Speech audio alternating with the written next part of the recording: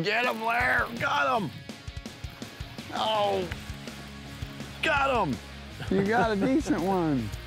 I guess so, but man, that's a nice fish. Hey folks, the major difference between an average fisherman and a great fisherman is the ability to find fish. Hi, I'm Larry Ladowski with Midwest Outdoors, and today I'm fishing with Chris Groh. We're gonna talk about how to find fish in a lake that you haven't fished before, and hopefully catch some bass in the meantime.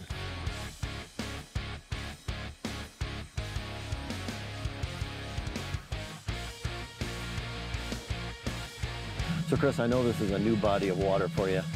What do you look for when you when you get on a, a new lake, especially during fall time? Especially in fall time is a key word there. Uh, like what we came out of over there, we, we kind of got excited because it was kind of a little dead end bottleneck, deep water nearby. We saw bait flickering. So new body water, I like to look in the backs of little tiny creeks, little tiny pockets, because that bait is trying to get back there and you know it's following him. You're using a jig, you're using a topwater, and what else? And then kind of like you were throwing chatterbait and spinnerbait, those are kind of the same. We're just trying to Covering water. covering water until the fish tell us something to do. You know what they want. You know, uh, we haven't. We've only got a tiny, tiny clue, so we need to keep working. Oh, there you go. That's a big one. Look at this one. Oh, yeah. You felt that one right away. Oh, yeah. Look at the fight on that one. Wow. Oh, baby. Oh, man. That's a big one, dude. that's a huge one. Oh, man. Wow.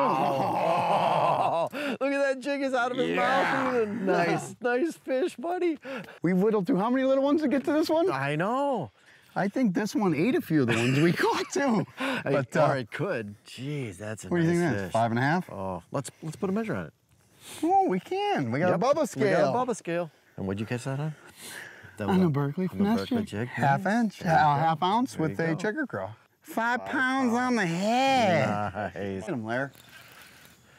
Ain't that little. What are you talking about? Compared to yours. well, I mean, still, we're gonna win the tournament now. That's a, what are you talking about? Swing that puppy. Get him in here, Larry.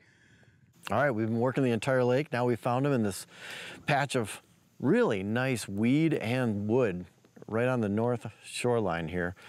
Got him on a slobber knocker with the trailer. So Chris, one of the big one of the big things about fishing and finding fish is making sure you're using a couple of different types of lures, right? 100%. It's nice that we're going at him with the one-two punch. What are you throwing there, Lair? I got the slobber knocker, which is more of a, a chatterbait type of, of lure, and you're doing the jig thing, right? I just figure, you know what I mean? We're still in the same family. Bladed jig, regular jig.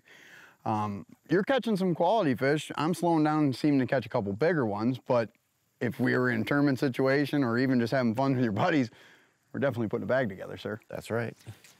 And I'm covering more water. You're doing more of a slow finesse presentation with that. And I still think the slobber knocker could catch one of them giants still. It's just, do you know what I mean? It's just being in the right place and the right time and there you go. It's coming up by you, Noah. It's right here. Oh yeah! Right by him. I'm gonna boat flopper. Here we go. Oh man! Another five. Look at that. Berkley finesse jig. When it gets cold, I start with a finesse jig. Because what I like to do is when I pop it, I want a lot of vertical presentation. I want that, bo- the jig to fall on slack line. Then once it gets colder and colder, I increase the size of the jig and start moving it slower. But that was so cool. No, I saw it coming under the boat and jump by the camera. Did you get it? You got that jump?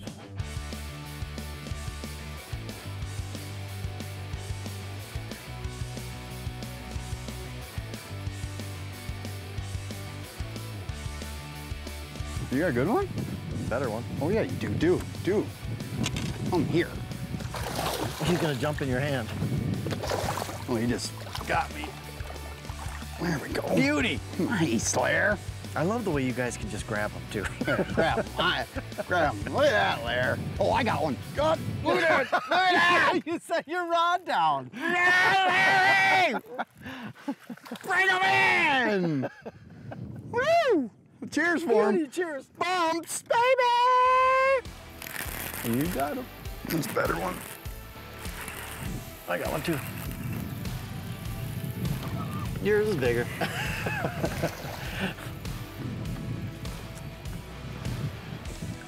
He's mad at you. He is. I don't know why. I was trying to be nice. Let's grab him. Let's be nice to this fatty. Oh, come here. You know what they're trying to do? Is you want to break my rod soon is what he wants to do. You know when they eating it, Larry. what a ball. Hey, what a way to end it, Chris. You know it. when you want to find fish, do a couple of different things. Make sure you're using different baits to cover different bodies of water. And make sure you cover a lot of water too. And always fish with this guy. It's always a good thing. Someone who's knowledgeable about this. Ah, you you have no idea. But like you said, what we're doing is we're covering all areas of the water column. You're throwing the Berkley slobber knocker.